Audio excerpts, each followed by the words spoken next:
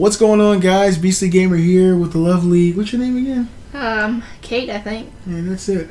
I guess. We wanted to get with you guys and kind of talk about some news that we just heard, give you our thoughts, and then get your thoughts in the comment section below. We hope you're all doing good.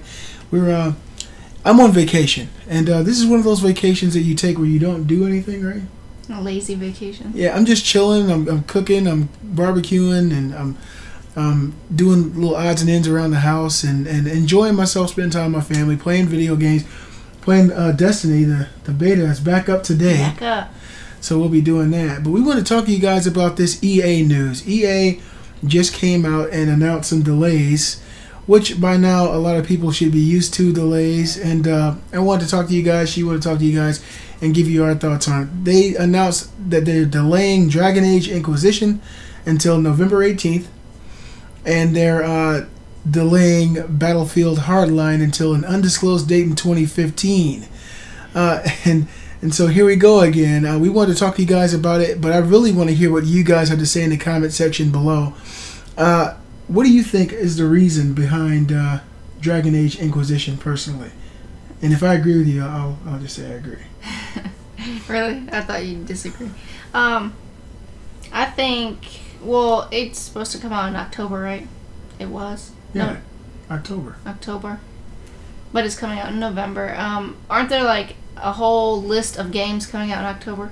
There's a, a shitload of games. Let me click here. This is uh, the I, magic of the internet.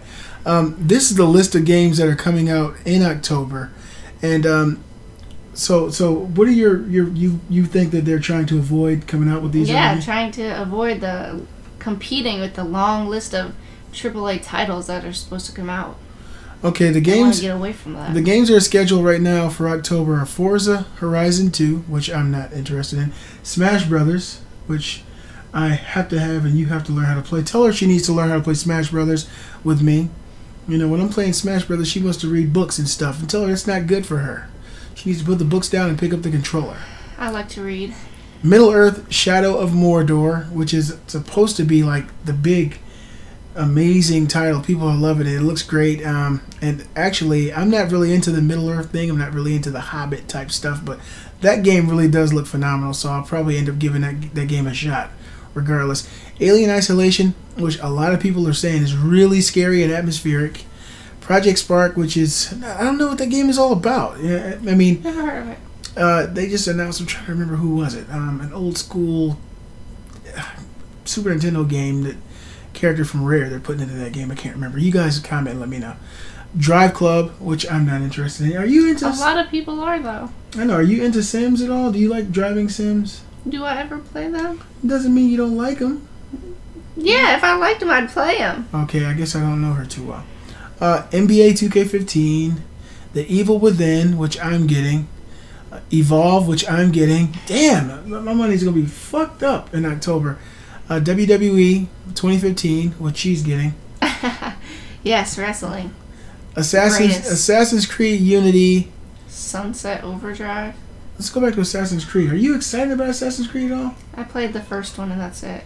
I'm not. I mean, It's a uh, very repetitive game. It didn't really capture my interest. Oh, that's a good way of saying it. I just uh, the story just seemed to get convoluted to me, and, and it just had you going through all these twists and turns, and they're trying to just make it an annual thing now.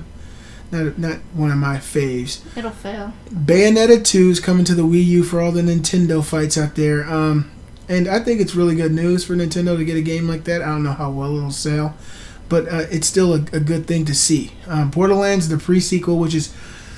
I love Borderlands, but the fact that they didn't do anything on a new console kind of irks me a little bit. And those are the games coming out in October. So you think it's to avoid the um, the clutter, the congestion of the month. I, to- Yeah. I totally agree.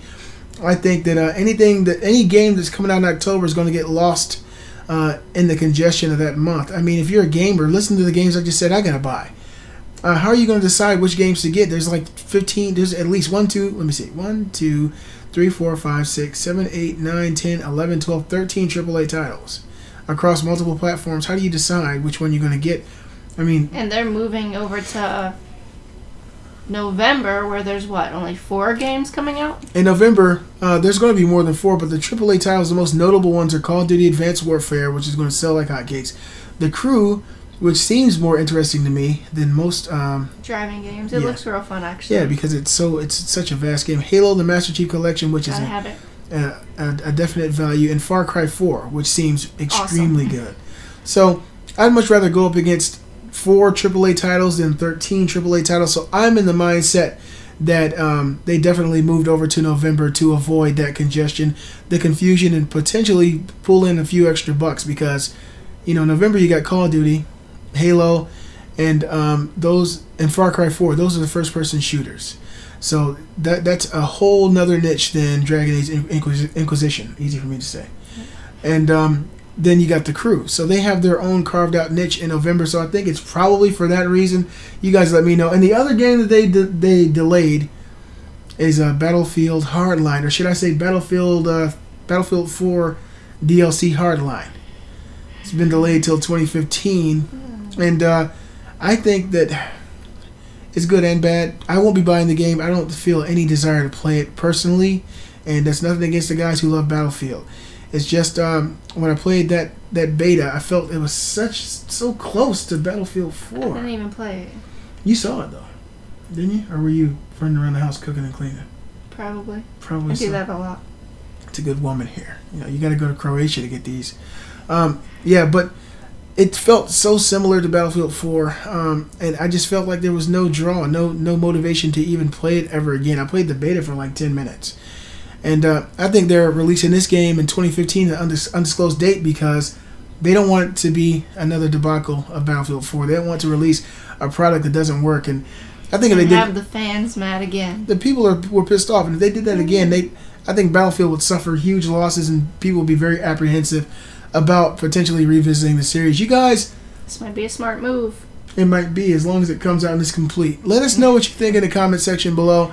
Uh, we really do appreciate all the comments and feedback. And if you guys are new to the channel, please hit that subscribe button and uh, support the video. I'm the Beastly Gamer, and this is my wife Kate. Bye, guys. See you guys next time.